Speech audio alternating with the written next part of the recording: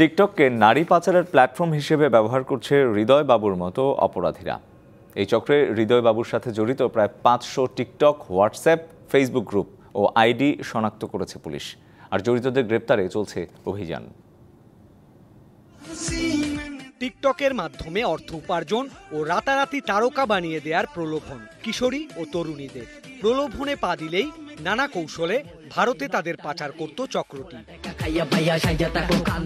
সম্প্রতি ভারতে বাংলাদেশি এক তরুণীকে নির্যাতনের ভিডিও ভাইরাল হলে তদন্তে বেরিয়ে আসে এসব তথ্য। জানা গেছে, পাচারকারী চক্রের সক্রিয় সদস্য ভারতে গ্রেফতার হওয়া হৃদয় বাবু দুই সালের ফেব্রুয়ারি থেকে বিভিন্ন সময়ে নারায়ণগঞ্জের ফতুল্লার অ্যাডভেঞ্চার ল্যান্ড পার্ক, গাজীপুরের আফরিন রিসোর্ট সহ নানা জায়গায় সাতশো থেকে আটশো তরুণ তরুণী নিয়ে TikTok hangout party, pool party আয়োজন করেছে।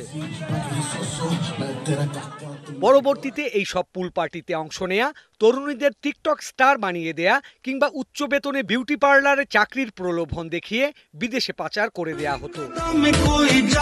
পুলিশ বলছে, বাংলাদেশের দক্ষিণ পশ্চিমাঞ্চল ও ভারতের কয়েকটি রাজ্যের অপরাধীদের সমন্বয়ে গঠিত হয়েছে এই সংঘবদ্ধ আন্তর্জাতিক মানব পাচার চক্র। এই টিকটকের মাধ্যমেই উল্লেখযোগ্য সংখ্যক মেয়েদেরকে বিদেশে পাচার করছে। ঢাকার গাজীপুরে, নারায়ণগঞ্জে এবং নরসিংদীতে তারা হ্যাং আউট পার্টি করেছে পুল পার্টি করেছে এবং উল্লেখযোগ্য সংখ্যক তারা উঠতি বয়সী ছেলে মেয়েদেরকে এখানে সংযুক্ত করে এটাকে প্ল্যাটফর্ম হিসেবে ব্যবহার করে এখান থেকে পাচার করছেন।